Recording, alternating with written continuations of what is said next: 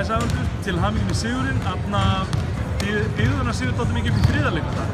Hvernig, komið inn í setna hálfleikin frá með vörnum? Já, við gerðum svo sem margt vel hérna. Við, um, já, við vorum að prófa og hluti í fyriráleik og svona bara aðeins að rótura liðinu mikið, spila 11 mennum í fyriráleik og, og hérna, já, bara við fórum alltaf bara að spila vörn á áliðvelli í, í, í byrju setnarleiks og, og ég meina við höndum í, þú veist, það er í 0 stífum fyrstu 6 mínutinnar í, í þriðja og hérna, já, já, bara fínt, skilur, þetta var bara svona, þetta var svolítið röst í en já, já, þetta var bara allt í leik.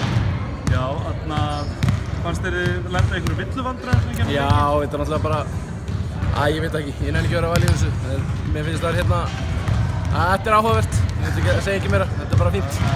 Villuvandra ekki við, neini, við vorum ekkert í villuvandra, við vorum svo sem það er, ég meina, það er vinn okkur með einhverju 13 frákustum hérna, taka 24 sóknar frákust, það sem að er ítrekka ítt í bakið eða eitthvað annað, en að ég sitt að besta, við unnum þetta og það er fínt, Já, já, ég er ekki að spá í þessu, þetta var bara eins og þetta já, já.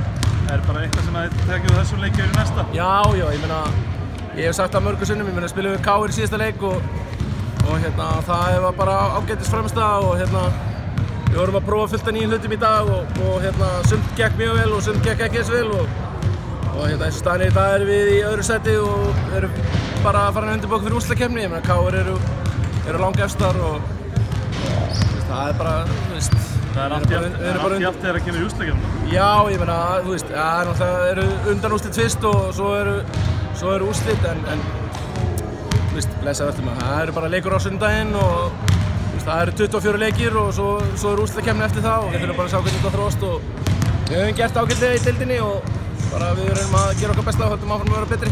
Herru, flottur. Til aðeins.